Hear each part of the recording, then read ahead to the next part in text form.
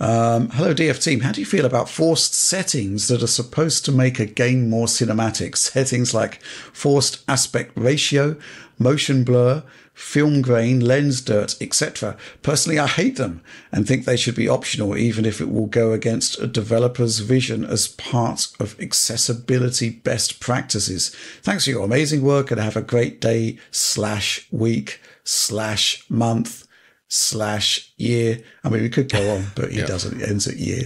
So, um, yeah, all bets are off for 2025. But I'm going to go to you on this one, John. Um, this is an interesting point, which I'm presuming arises in the wake of um, uh, Hellblade 2, which does have a number of features fully engaged on the PC version where you're not uh, mm. permitted to uh, to remove them, though you can via mods. Uh, I think this is going to be a game by game thing, but in the case of something like Heckblade, uh, I I think like that is actually that's genuinely part of the artistic vision that they that they want for this game, because in this specific case they are trying to simulate the look of a very specific type of lens, right? Like the whole idea is that you're viewing this through this sort of lens, and all the distortions and everything about it is all part of that and it's not just like it's not just graphics for graphics sake like that's part of the look of the game and i feel like getting rid of it all alters that too much. So in that case you know that's tricky like in these extreme cases i can see the purpose of not having an option but in most cases, I think it should be optional because it's usually not necessarily part of like the core like identity of the game's visuals in the way like it is with uh, Hellblade. But um, I think mm-hmm. in most cases it should be optional because, like he says, not some people just can't stand it. Uh, there are those that even have potential accessibility issues, headaches, whatever, eye strain mm-hmm. from the from the blur, I guess.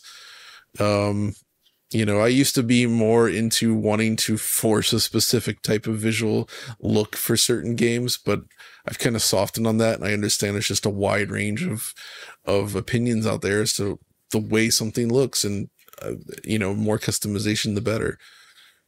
Okay, Tom. Mm, agree uh, fully on board with uh, John's point about accessibility options in in the vein that there should be options in case people have a difficulty with, say, motion blur or certain types of visual effects, chromatic aberration, that's fair enough. Um, I think that should be all open to the user, but at the same time, there is such a range. I mean, a developer will pick its mark in terms of okay, we want the game to look like Toy Story, uh, so it's going to have a certain look to it. We want the game to look like, you know, uh, a cartoon, so we're going to make it cel shaded.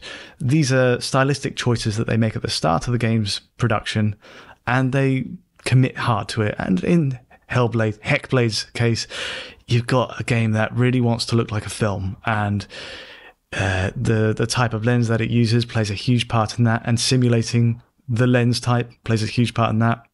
I mean, films even do the same thing. Films shot in digital they'll go back in and simulate film grain and uh, all the things that are part of traditional 35 millimeter reels. Um, we're, we're in an era today. I mean, Dune and Dune 2, uh, the latest uh, versions of that film uh, do that. They have kind of artificially, well, they add in film grain via a different process to a digital original uh, shot. So yeah, it's about style. And I think there is value to having a range of visual styles in video games, some of which may appeal, uh, some which won't. My pet peeve, I'll be honest, is aspect ratios which don't align with my screen in games, but I can see its use. I, I think there's a I, there's a place for it. It used to be more annoying if you played like that on like say an OLED or sorry, an, an LCD TV. That that was often yeah. bad because in the black areas just glowing backlight.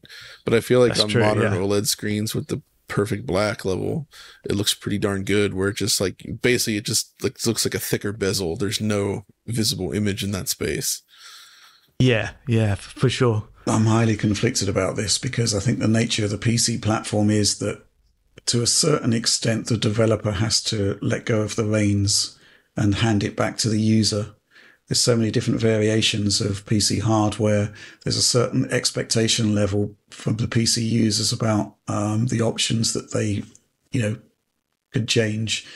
I think it's quite different from a sort of you know the closed shop that is the console arena, and um, you know stuff like chromatic aberration. I think you you know it's it's perfectly fine to disable that without compromising the director's vision, so to speak. Uh, the question True. is really about getting the balance right, I guess. Um, I guess at the end of the day, though, Hellblade seems to be a particularly moddable game because it is based on Unreal Engine. Fairly sure the Unreal Engine unlocker works on it, but I'm looking at Nexus mods and uh, all of the mods that I'm seeing to tackle stuff like this just seem to be chasing, uh, changing elements of the .ini file. And, you know, the, um, you can get your 16 by 9 aspect ratio if you want it. You can deliberately disable chromatic aberration. So options are still there. It's just, um, you know, sort of like one step removed. It's not too difficult, but, you know, maybe the developer mm. could have, could have uh, been a bit more open to that.